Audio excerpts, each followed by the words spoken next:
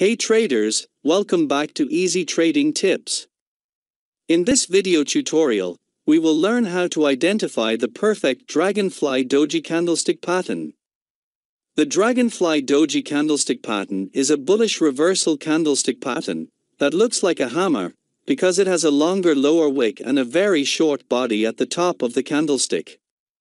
The only difference is that there is a small body in the hammer, while there is no body or a very small short body in the Dragonfly Doji. The opening price, the low price and the closing price are all close to each other, and there is a long lower shadow, indicating a bullish reversal signal, which converts a downtrend into an uptrend, but all Dragonfly Doji cannot convert a downtrend into an upward trend. Only a 100% perfect Dragonfly Doji pattern can turn a downtrend into an uptrend. Today we will learn how to recognize a 100% perfect Dragonfly Doji candlestick pattern. Let's get started.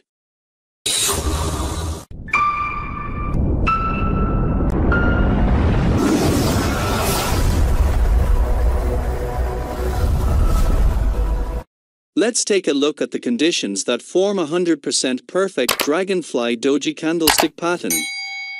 Number 1, the opening and closing prices should be the same. Number 2, two there should be a longer lower leg like a hammer candlestick. Number 3, the opening and closing price should be near the top of the candle. These three points are very important for determining a 100% perfect Dragonfly Doji candlestick pattern. Let's look at this perfect example of Dragonfly Doji. This is a 100% perfect Dragonfly Doji because this pattern has all three conditions and we should find this candle only in support and oversold areas.